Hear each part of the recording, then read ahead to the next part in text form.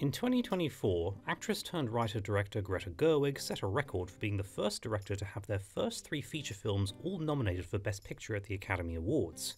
Her debut film Lady Bird also got her a nomination for Best Director and Best Original Screenplay, while her third, Barbie, also saw a co nomination for Best Adapted Screenplay with her fiance, whose name I will never get right, Noah Baumbach. And she has shown remarkable versatility in all three films, with Lady Bird being a subversive coming of age drama, Little Women being a period piece, and Barbie a hyper feminine blockbuster featuring big musical numbers, comedy hijinks, and scathing social commentary. And she has since been announced as adapting the Chronicles of Narnia for Netflix, branching out into children's high fantasy. With Barbie being the first film by a solo female director to gross a billion worldwide, Greta Gerwig is seen as a trailblazer for women in the film industry, but notice that only one of those Best Picture nominees also got Greta a Best Director nomination to go along with it. The lack of nominations in that category for Little Women and Barbie saw a storm of controversy over perceived sexism, but the latter's was met with a counter controversy over the apparent white feminism, pointing out that the same Oscar year also saw Lily Gladstone becoming the first Native American to receive a Best Actress nomination, and Justine Triet the first French woman to get a Best Director nomination. You know, in the same category Greta was apparently snubbed from due to sexism. And Greta Gerwig's choice of filmmaking style has not been without its own criticism in the past. See Broey Deschanel's video that is very relevant in the white feminism argument. And the lack of Best Director nod for Little Women and Barbie could be a matter of quality or subjectivity, since after all, there are 10 nominees for Best Picture and only 5 for Best Director, so half of the former nominees aren't going to make it to the latter.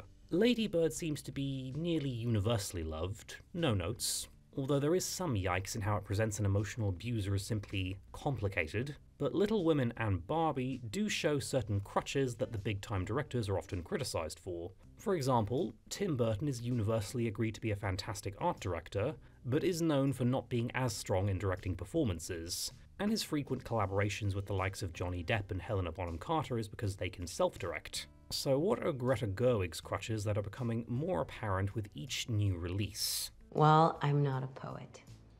I'm just a woman. Little Women is the fourth cinematic adaptation of Louisa May Alcott's beloved coming of age story about four sisters in the March family graceful, ladylike Meg, dainty wallflower Beth, vain yet charismatic Amy, and tomboyish, independent Jo.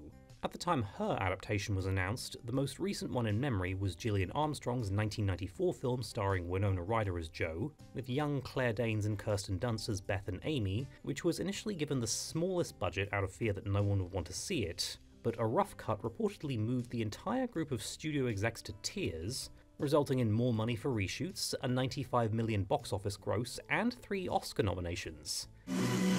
Not empty now.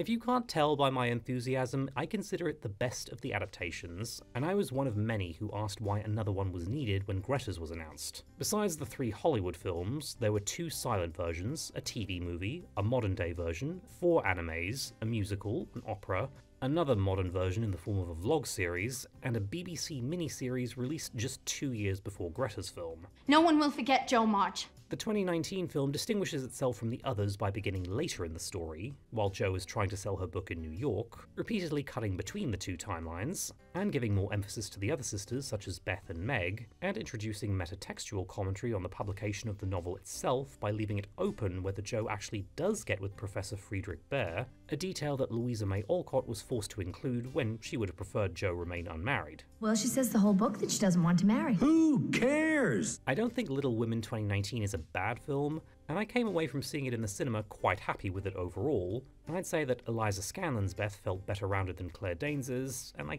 kinda preferred Emma Watson's Meg as well. Just because my dreams are different than yours doesn't mean they're unimportant. But there are some very obvious flaws that become even more obvious on each rewatch, and especially when you compare it to Barbie. You've been making women feel bad about themselves since you were invented. Barbie is, of course, based on the famous Mattel doll and follows stereotypical Barbie, who really should be called prototypical, just saying, who lives a utopian life in the Barbie land matriarchy until she one day starts having. Irrepressible thoughts of death. Okay, that's my favourite song lyric in the whole film.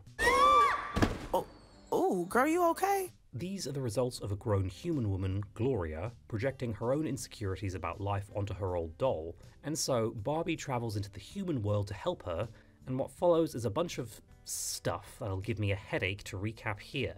Yeah, I'll say it right now, this was not a film I even remotely enjoyed.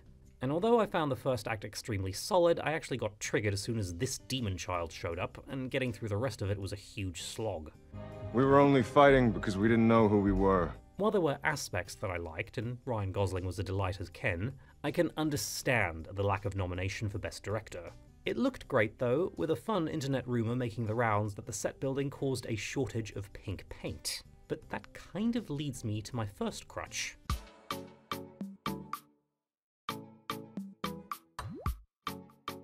While Barbie may be the more visually striking film, this criticism could be more accurately thrown at Little Women, which, although it didn't win any of the major awards at the Oscars, when it did take home was met with a lot of controversy. And yet you couldn't get the fucking costumes right?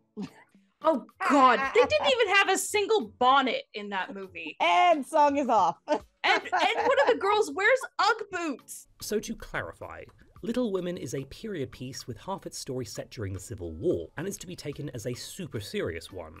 So its list of inaccuracies with the costuming add up to the sisters wearing day dresses made from cotton when there was a cotton shortage during the very war their father is off fighting in, the dresses all looking brand new when the March sisters are supposed to be impoverished and therefore should be wearing hand-me-downs, the girls going bareheaded when it was the norm to wear bonnets and other headgear, and girls meant to be over 16 wearing their hair down and with modern fringes and side parts, Meg's dress here having a neckline that's way too high for the time period, hoop skirts being shown in the second era when they were more fashionable in the first, and finally, Amy wearing Ugg boots. Now, I'm not one to nitpick costume accuracy in movies, since for example, Bram Stoker's Dracula also won an Oscar for its costumes, but that is a super stylized vampire movie with an operatic tone, while Little Women goes to such efforts to try and immerse the viewer in the time period, to the degree that Greta Gerwig bans smartphones from the set because they didn't exist in the 1800s. You have a publisher demanding that Jo's heroine end the story dead or married, and you have Florence Pugh monologuing into the camera about the limited options for women back then. And look, research mistakes happen. I tried to make a World War I film during 2021, and thanks to a really uncooperative theatre, this was what I had to go with costume wise. But I see this picking and choosing with historical accuracy in so much of modern media, usually to make some pop feminist statement, such as Beauty and the Beast 2017 deciding to differ from the animated version and go for a realistic 18th century France setting, where Emma Watson insists on Belle not wearing a corset because she wouldn't want to be restricted, and Bridgerton being set during an alternate history Regency era where we again get this corsets equal patriarchal oppression message. When, first of all, Corsets were not worn during those settings, but rather stays, and the fashion was to look like a Greek column. And second, we'll let my friend Song take this one. It's interesting how the corset, especially, has become so villainized over the years. And people claiming that it was a tool of the patriarchy to oppress women and keep them down. But, like, men hated corsets and men were the ones saying they wanted to get rid of them because oh they're bad for you and women were the ones telling them to get lost. Let them have their thing now, if I, an idiot with access to the internet and more intelligent friends, can do my research, then surely the director of a 40 million Hollywood film can also. Titanic had such an accurate representation of period fashion that Rose's suit here was taken from a French fashion plate only a couple of months before the Titanic set sail. Romeo and Juliet 1968 is likewise pretty accurate to the Italian Renaissance setting Franco Zeffirelli went with. And since film is a visual medium, the number one rule is show, don't tell, and your costumes in a period piece tell us where your priorities were in representing said period. In Little Women, it was clearly having two of the female leads speechifying into the abyss, admittedly very eloquently because Florence Mother in Pugh, that's why. In essence, telling us about the time period rather than showing. This extends to the casting as well, since Professor Bhaer is now played by Louis Garrel, an attractive 34 year old who seems like an odd choice to play the contrast to the typical pretty boy Laurie, whose proposal is turned down by Jo, and she finds an intellectual and emotional connection in because they are both unconventional in terms of looks. Since Jo is described as coltish and too tall, and Friedrich is overweight and grizzled. Since its film, we've had pretty actresses playing Jo, but sometimes they're better thought out. Since while Katharine Hepburn is a classic screen beauty, she isn't conventionally so, and she made a career out of playing women who were unconventional and more masculine, so her Jo is instantly believable. Likewise, Winona Ryder is a petite cutie, but she too was told she wasn't pretty enough to be a movie star, and her performance conveys Jo's unconventionality very easily. It's well thought out with Saoirse Ronan in the 2019 film too, who is dressed in such a way that makes a marked difference, again with a great performance helping bring Jo to life. Jo, I'd be a perfect I can't, saint. I can't. I've tried it and I failed. Why does everyone I expect can't. it then? Gillian Armstrong was nearly going to cast Hugh Grant as Friedrich in her version, but then realised he was both too young and charismatic. And they went with Gabriel Byrne, who is more attractive than the character is described in the book, but you can believe him in the role. You have me. With all of my heart. Greta Gerwig's response to blatantly making Friedrich more attractive was what we call a gish gallop. I feel like for the history of film, guys have been putting glasses on hot women and saying that they're awkward, so I was like, I can do whatever I want. So, in an era where practically every picture we take can be filtered and photoshopped to the point of ridiculousness, the double standards in male sexualization and impossible body standards are hot talking points, and male mental health is at an all time low partly thanks to the above, this movie took a positive relationship that was about connecting on a deeper level past the superficial stuff, and falling for someone because they're supportive and more intellectually minded, and implied the deeper things were meaningless without the physical beauty. Not to mention that Friedrich gets very little characterization compared to the 1994 film, effectively turning him into a sexy lamp for Jo's story. And the only defense of that is, they did it to us too. But that's far from the only red flag in the Gerwig cinematic universe.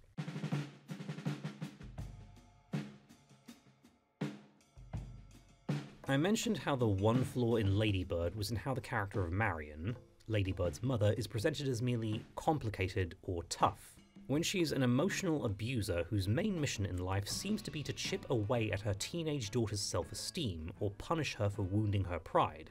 And we're supposed to instantly cut her some slack when she says her own mother was an abusive alcoholic.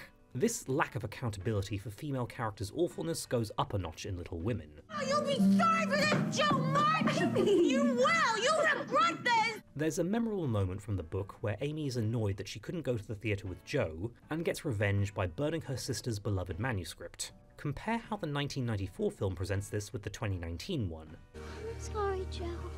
1994 Amy is already regretful before Jo even finds out, apologises when she sees how she's hurt her sister, and is very clearly horrified at how awful she was, later helping her rewrite it to make amends. When Lady Zara succumbs to the Duke's wrath, 2019 Amy is shown maliciously burning the manuscript one page at a time, gloats about it to Jo, and is unapologetic, even saying she wanted to hurt her. It's not as if I could have hurt you by ruining one of your dresses, and I really did want to hurt you. These incidents in the book and other films show Amy being a brat, getting knocked down a peg because of her behaviour, and realising she has to change, beginning her character development. In 1994, Amy nearly drowning in the icy water is a sad moment because we know how sorry she is. In 2019, my reaction is just leave her there. Not to mention that when Jo accidentally burns Meg's hair off, 1994 Amy quickly tries to help her by offering a ribbon to cover it, and 2019 Amy just laughs cruelly. It doesn't help that in 1994, Amy is clearly a little girl and can be cut some slack, whereas in 2019, Florence Pugh still plays her when she's supposed to be 13, again making her come across as an unrepentant mean girl. Jo is no better, with a scene where she asks for feedback on her writing and doesn't like what Friedrich says, so she blows up at him and gets very personal. My reaction indicates that you are a pompous blowhard. He's a bit blunt, sure, but he's not rude, and he's pretty constructive. Oh, I think you're talented. And her response is to insult him and declare they're not friends. And I don't want your opinion because I don't like you very much. Jo hates the inequality between men and women so much that she declares it multiple times in the film. She doesn't want to be coddled, she wants to be treated like an equal, and yet when Friedrich does, this is how she reacts. Who made you high priest of what's good and what's bad? That is not merely complicated. And like Amy, Jo never has to be accountable for this. There's no moment where she's regretful for her rudeness or has to admit how her temper got the better of her. She gets a letter about Beth right after, returns home, and then Friedrich seeks her out later, meaning she never has to have her potentially abusive behavior checked. But just you wait. Okay, Barbie. Let's do this. I mentioned getting triggered in the Barbie movie by Sasha, the resident girl bully who is absolutely vicious to our main character and reduces her to tears. And I sat through the next half of the movie in complete bafflement that this rotten demon child never received any comeuppance, or had to face accountability for the fact that she's stated to be a bully at school and is this fucking cruel to a complete stranger.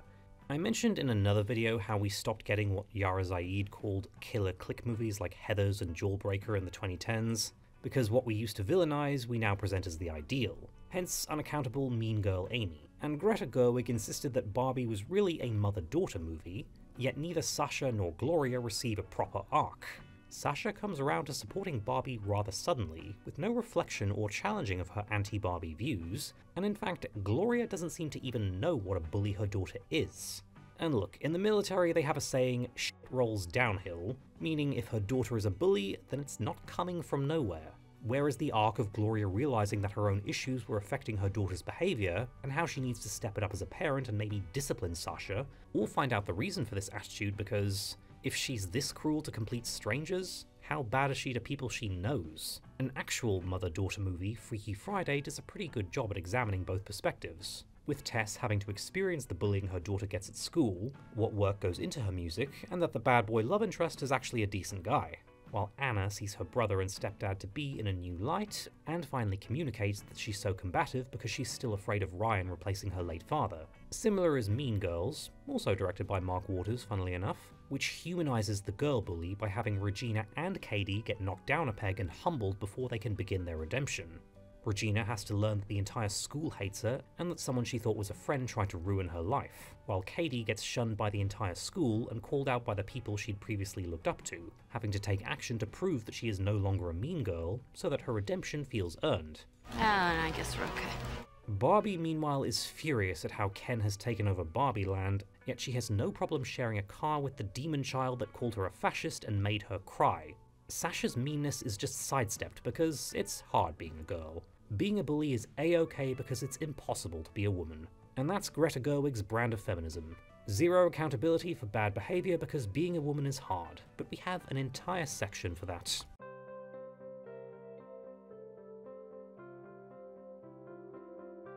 Greta Gerwig has a reputation as a filmmaker who makes fiercely feminist films, which she undoubtedly got by having unconventional female characters who often monologue into the abyss about the difficulties of being a woman, but do her films go any deeper than that? Maybe it doesn't seem important because people don't write about them. Little Women attempts to weave metatextual commentary on the importance of women's stories in our society, which, yeah, isn't a message I disagree with, but the choice is to parallel things with the publication of the original novel. The main character is a girl, make sure she's married by the end or dead. The film introduces a strawman publisher who gets a scene wondering whether anyone will want to read Jo's novel about her and her sisters, only for his three daughters to burst in having read the manuscript and demanding to see more. And this kind of statement hinges on the myth that there has never been any kind of entertainment for women, and if there was, it was rare. Beauty and the Beast 2017 tried to play this one in a much more basic fashion by having another straw misogynist punish Belle for teaching a little girl to read. Teaching another girl to read isn't one enough? This was again poorly thought out because female illiteracy was not a thing in the time period the movie takes place in. And in fact, the original Beauty and the Beast fairy tale was published in a magazine for women, and the novel Little Women was not the passion project Louisa May Alcott had to fight to get published because men don't want women's stories to be told. She was told to write it by her publisher, Thomas Niles, who felt that a novel about girls would have wide appeal she only cobbled together something modelled off her own sisters after pressure from her father, saying to a friend, I could not write a girl story, knowing little about any but my own sisters, and always preferring boys. Get this. Little Women was written because two men pressured a woman to write it because they thought it would sell. There have always been stories and media for girls.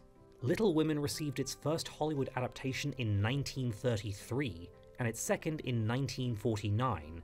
Who do you think those movies were aimed at? The idea of the male-focused narrative as the default is considerably more recent than a lot of people realise. The golden age of Hollywood recognised women as consumers too, and big budget films were released for them under the studio system. Gone with the Wind was a spectacular event movie where the main characters were Scarlett O'Hara and Melanie Wilkes, and the male leads were their love interests.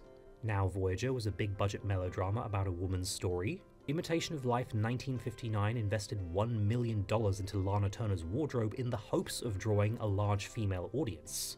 It wasn't until the studio system collapsed in the 60s and we saw the rise of auteur filmmakers like Francis Ford Coppola, Steven Spielberg, George Lucas, you know, who were making stories simply personal to them that we saw a shift. And even then, this stuff goes in cycles, since although the 1994 film had trouble getting greenlit, the 90s would see a rise of female-led films and shows.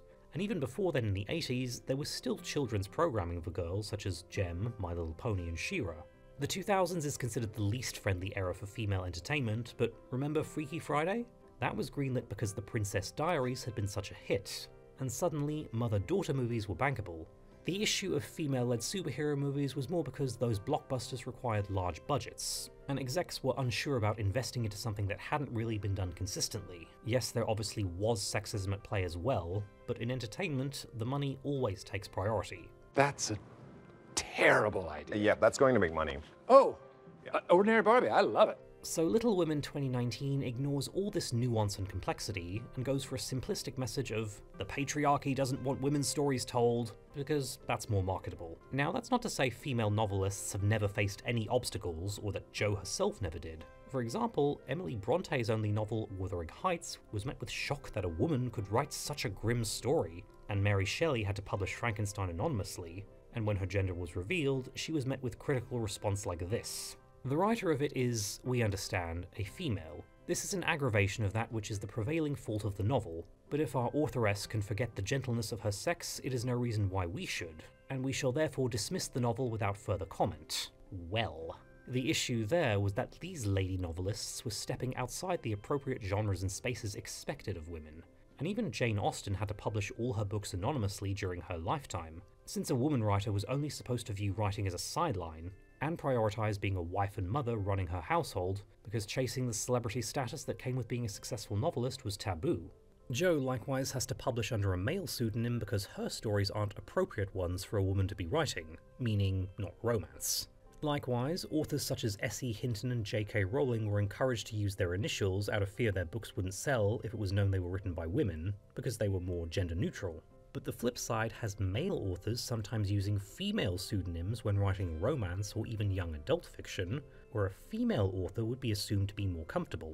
The 1994 film tackled this issue with Jo not being outright rejected, but told to try the women's magazines, and Laurie highlighting that Amy can mooch off Aunt March and her eventual husband to pursue her art, while he as a man is expected to be a provider, which reinforces that it's not so much men hate women, men suck, as men and women are expected to fit into these narrow boxes. Isn't that awful?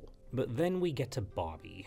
The first basic pop feminist touchpoint is that Mattel in the film has no women on the board, for the simplistic message of hire more women, that'll solve everything. What would have been more revolutionary would be to unpack that issue a little more, like how some women are hired only for the appearance of diversity and inclusion, but have no real power, or how the standards of perfection can be much stricter if you're a woman in charge, such as female directors having their careers set back years by only one flop.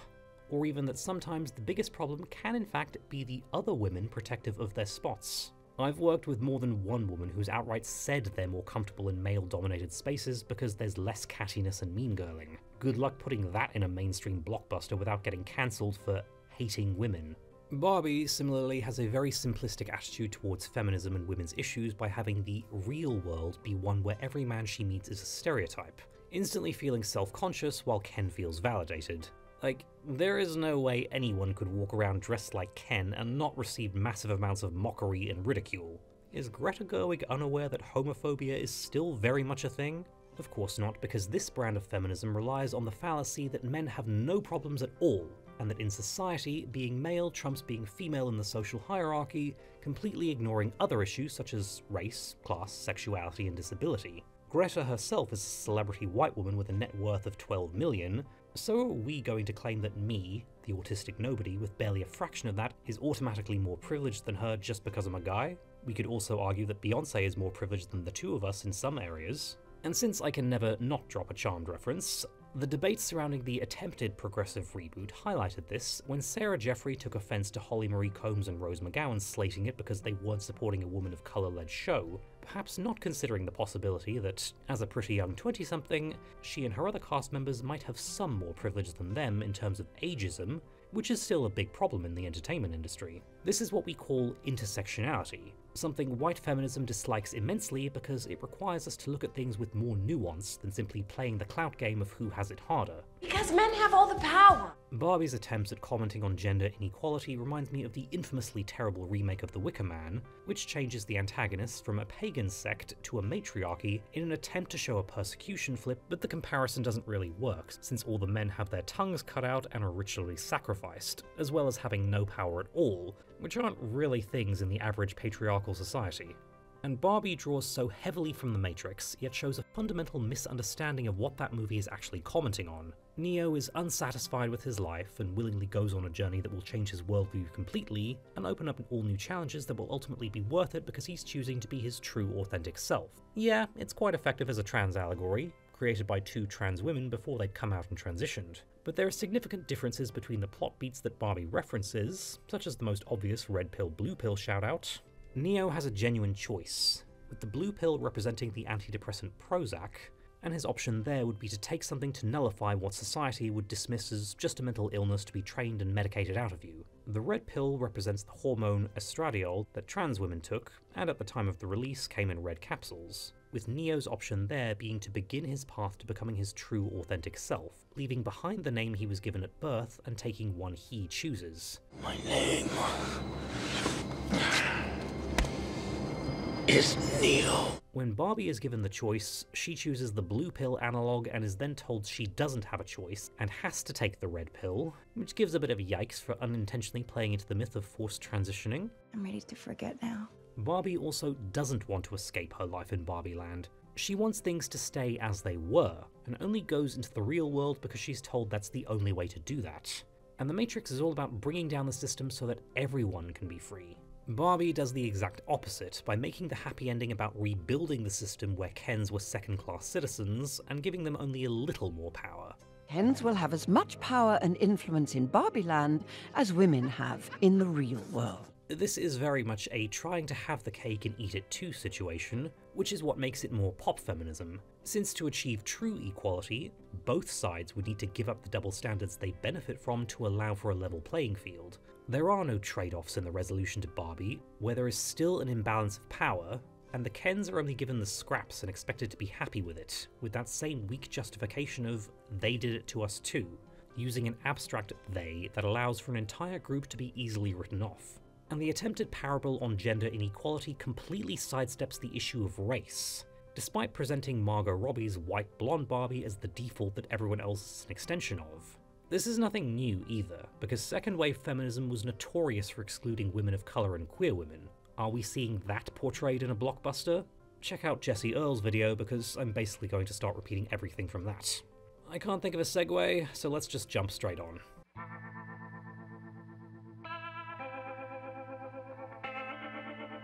Lady Bird got praise for being subversive by being a coming of age story where the teenage girl does not end up with either one of her love interests. And Greta Gerwig continued that theme into Little Women and Barbie, which both take a canonical romance from the source material and subvert expectations by not having the characters get together. Romance is still present in the films, and Little Women admittedly leaves it open rather than outright stating Jo and Friedrich don't get together. But remember how I said earlier that Greta Gerwig's female characters often go unaccountable for their bad behaviour? The men aren't exempt from this either. I'll be good for you, Saint Amy, I'll be good. The romance that still forms a major part of Little Women is younger sister Amy growing up and marrying the March's childhood friend Laurie, who initially pined for Jo and proposed but was rejected, only later realizing that Amy was the one he should really be with. For context, the book was published in two parts, hence the two timelines. After the first one came out, numerous readers wrote letters to Louisa May Alcott demanding to know if Jo and Laurie would get married, so she deliberately put him with Amy to spite the rabid shippers who were missing the point of Jo's character. The 2019 film, with its anachronic timeline, attempts to work the Laurie Amy attraction to the story earlier, making it clear that they will end up together from the very start. Unfortunately, it decides to add some stuff that is extremely red flaggy and pretty disturbing in light of how this adaptation is hyped up as the most feminist because Amy and Jo speechify into the abyss about the difficulties of being a woman. I waited an hour for you. There's now a sequence where Laurie is supposed to pick Amy up at her hotel for a party and he stands her up. Later showing up at the party drunk and barely dressed, with two other girls on his arm, publicly embarrassing her and Fred Vaughn. Fred Vaughn, ladies and gentlemen! In his first scene, he also makes a show of jumping on their carriage, planting an unwanted kiss on Aunt March, and going out of his way to make this old woman uncomfortable with his lack of propriety. He also judges Amy for being a social climber, whereas his book's counterpart gently questions her plans, and it's motivated by wondering would she be happy simply marrying a rich man she doesn't love? Perhaps you're fantasizing about spending Fred Vaughn's fortune. Okay, the first incident, a person does that to you, run like hell. Not only does this version make Amy even worse as a child, it turns Laurie into an absolute jerk. And their romance is suddenly an I can change him fantasy. You've been drinking again? Why are you being so hard on me? It's 4 p.m. Well, someone yes, has to do it. Maybe they thought they were being feminist by having a strong woman command a man child into maturity, but unfortunately, it doesn't work that way in real life. And Jo's maybe romance with Friedrich has a few red flags too, what with him just sitting there and being unfazed as Jo insults him and gets personal because she didn't like his feedback that she asked for. I thought you wanted honesty.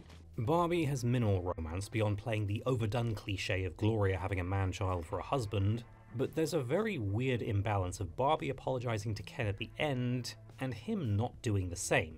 Not every night had to be girls' night. The in universe justification is that he only did what he did because the Barbies oppressed the Kens first, which is a take. That's not how empathy works. It's supposed to help us understand someone else's perspective, not excuse it. But even so, this whole third act is full of multiple yikes, since the Barbies' tactic to overthrow the Kens is to manipulate them with their feminine wiles to pit them against each other. Yeah, at this point I knew the movie was not going to redeem itself for its messy second act. Once again, check out Jessie Earl, who put it much more eloquently on the yikes for the movie, implying that this is women's default state. And moving into my final point of contention.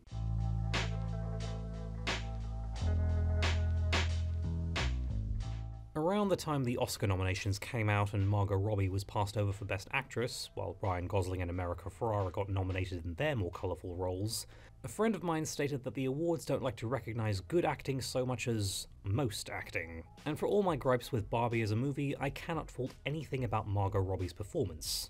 And she had the hard role here.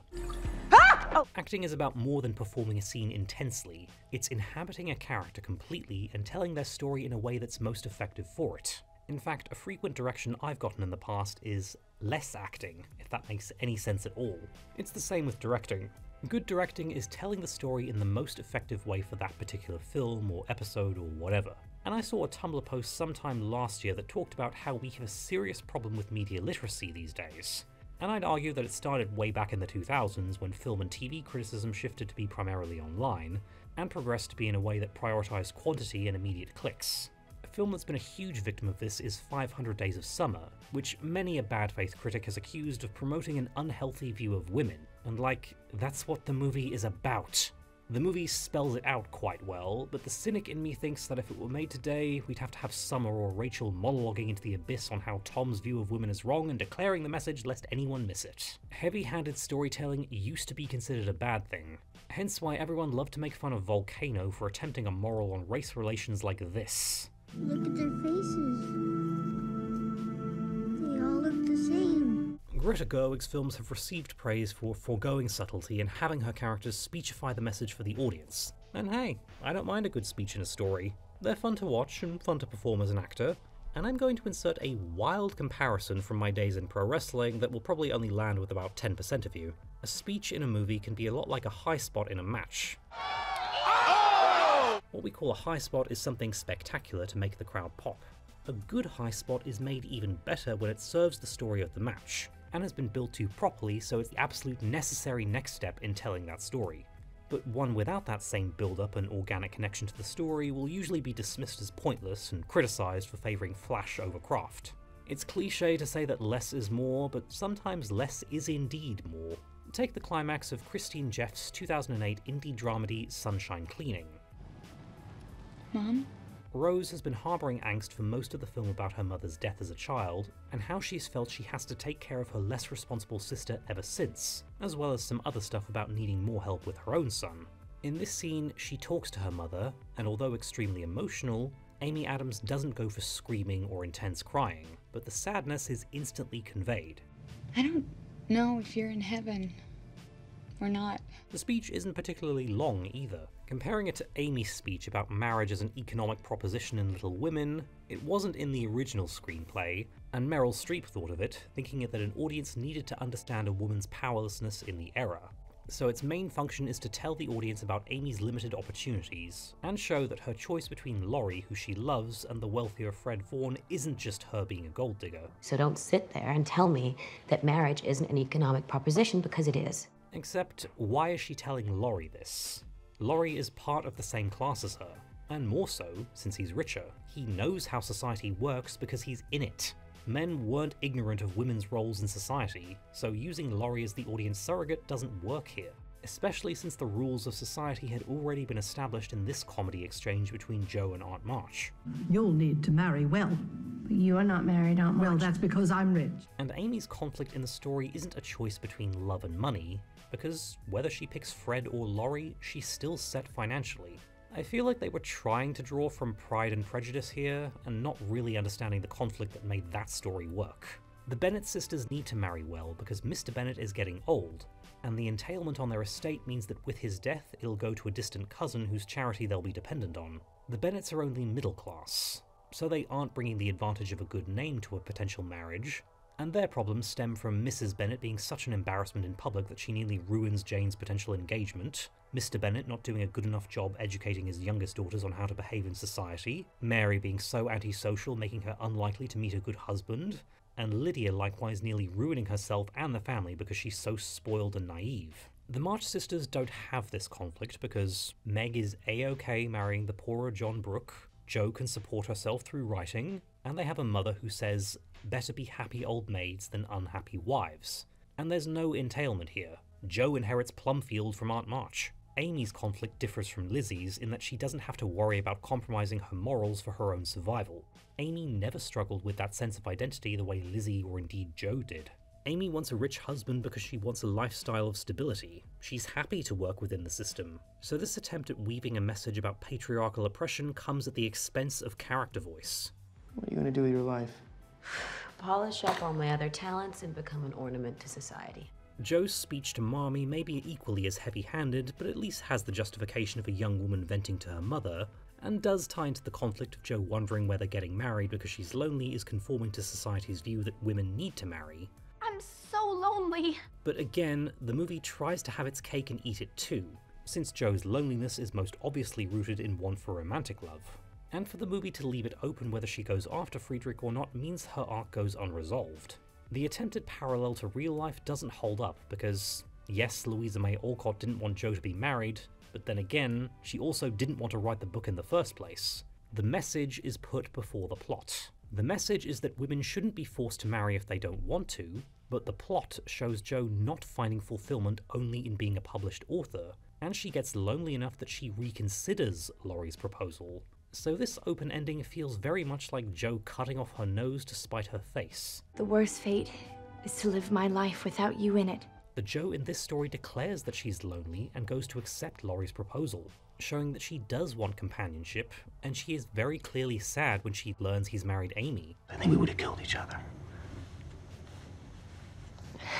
Yes. It reminds me of when Once Upon a Time attempted to weave pop feminist commentary in at the expense of what the story needed. Regina Mills ending the series being crowned as the good queen of all the realms. On paper, it sounds feminist that she ends the series without a man and in a position of power, but Regina never wanted to be queen, and only became one because her abusive mother murdered her true love to force her to conform to her ultimate plan. What Regina did want was love, and yet her happy ending doesn't feel so happy because she's still alone. This attempted metatextual ending for Jo feels bittersweet, with an implication that she didn't marry the one guy she actually liked despite her loneliness. Sure, she may have stuck it to society, but at what cost? And then we get to Barbie and the America Ferrera speech. I'm just so tired. Regardless of how valid what she says is, how does this connect to the story? Barbie doesn't want to become human or join the real world at the start of the movie. When she starts having her existential worries, she wants them to go away and for everything to be as it was. When given the red pill blue pill analogue, she chooses the blue pill without a second thought. She goes to the human world and has a horrible experience that makes her want to go back to Barbie Land immediately, and her whole story once she returns is about trying to get her old life back. There is no moment where she sees the benefits of becoming human. While there is the very sweet scene of her meeting the real namesake for the doll and seeing the beauty in aging and living a mortal life, the rest of the time the movie is practically torturing her with how awful the real world is. The real world is forever and irrevocably messed up. Well, Tangenting off again, people would be surprised to learn that another of my favourite Lord of the Rings characters is Arwen, but of course going more off the movies. Her choice is a little similar to Barbie's, since she is an immortal creature who considers choosing a mortal life to be with Aragorn. She nearly gives up hope and leaves Middle-earth after Elrond gives her a vision of the painful future in store for her if she chooses to stay, namely that the grief of losing Aragorn will be so painful to her that she won't be able to go on anymore. But before leaving, she has a vision of the son she and Aragorn would have, and decides to stay because the positives of her sacrifice outweigh the negatives. If I leave him now, I will regret it forever. Barbie never gets to experience the good things about the human world. She's never conflicted about going back to Barbie Land in the second act, which would have made for a more coherent arc of her weighing the pros and cons of being a real woman, and Gloria's speech would then validate that the negatives with becoming real are things that every woman struggles with, but worth it in favour of the positives. And it makes no sense why this would be what deprograms the Barbies, because they have no context or understanding for what Gloria is talking about. Why doesn't she say this to the Mattel execs instead to convince them why people would like her doll? The speech is obviously well written, which is why it resonated with so many, but it's a well written Instagram post and doesn't work in the context of the story. You are so beautiful and so smart. Gloria starts speaking because Barbie needs validation for not being a doctor, scientist, or president, and it seems to be her attempt to reassure her that she is just as valid being pretty and aspirational, but then Barbie proceeds to not want to be that and ask to be made real. I want to do the imagining. I don't want to be the idea. What does the speech do for Gloria? Does it give her the self actualization she needs to stop projecting her insecurities onto a doll? Probably not, because she then has to have Mattel make an affirmational doll rather than an aspirational one, seemingly having learned nothing and needing external validation.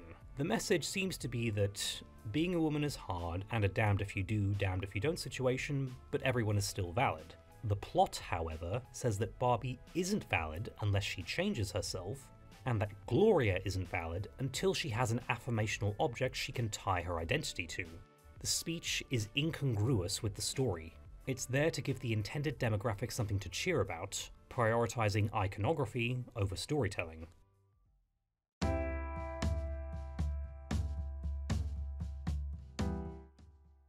I really struggle to write a conclusion on this because I don't even know what I'm saying here. I've always personally disliked being put on a pedestal by people I know who can't see all my personal flaws I fixate on, and on the flip side, putting anything out there on YouTube is leaving yourself open to criticism. And while no one likes to be told bad things about themselves, I'm always grateful that I'm never universally praised, because the aim should be to open a discussion and give voice to as many opinions as possible. And when you're worshipped without question, you're really not growing as an artist or creator. And if we're going to make the industry a more equal place for everyone, we have to be able to call attention to what we do and don't like without resorting to the lazy, you just don't like this because you hate women responses. Greta Gerwig has plenty of strengths as a director. The fact that she's made three consecutive Best Picture nominees and has a very passionate fan base indicates that she's doing a lot of things right, and she will likely continue to do so. I just hope that, as one of the auteurs who has the rare tentpole success outside of the MCU these days, the direction she brings the industry in is a positive one.